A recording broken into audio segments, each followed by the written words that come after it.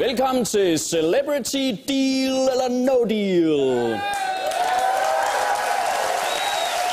Tak skal Det er, det er programmet, hvor en kendt dansker har muligheden for at vinde helt op mod 1 million kroner. Og aftens gæst er Nasser Kader.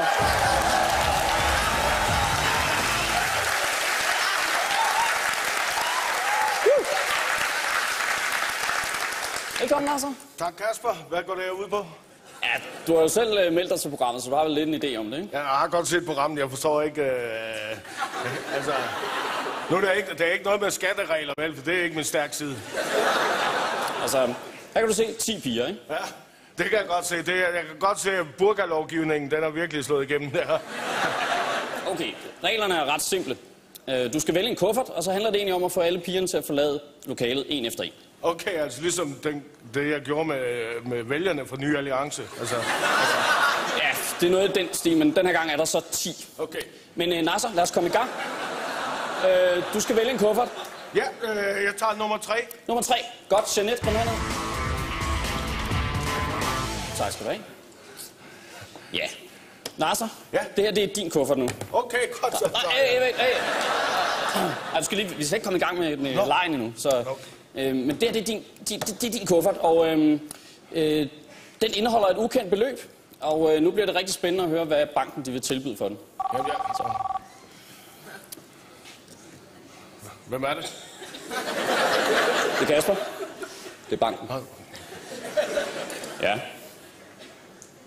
Ja. Okay. Ja. Hvem var det? Det var banken. Okay.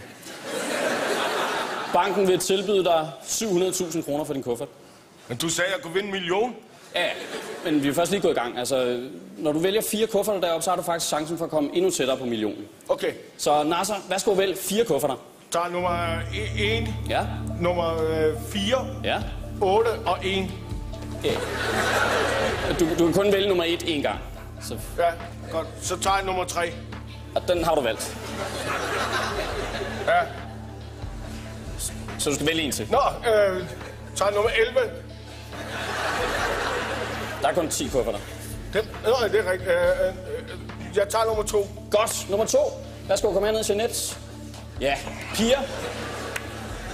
Lad os se, hvad for nogle beløb, der gemmer sig i kufferterne. Det er meget spændende nu. Nej, det er ikke spændende nu. Ja, Nasser. Tak, piger. Du har desværre valgt øh, alle de højeste beløb. Øhm, så nu bliver det selvfølgelig spændende at se, hvad, hvad banken øh, vil tilbyde dig. Jeg tager lige den. Det er Kasper. Hvem er det? Det er banken. Ja. Okay. Godt. Ja. Var det banken? Ja, Nasser. Det var banken.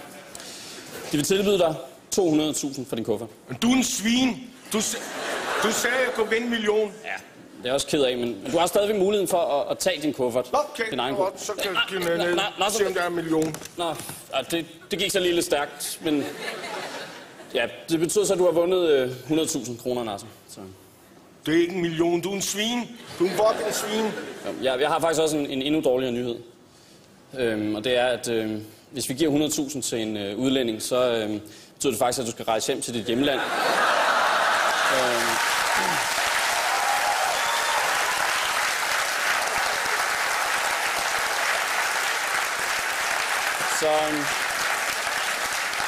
Så tak for i aften, og øh, god tur hjem til Syrien. ikke? Tak for i aften.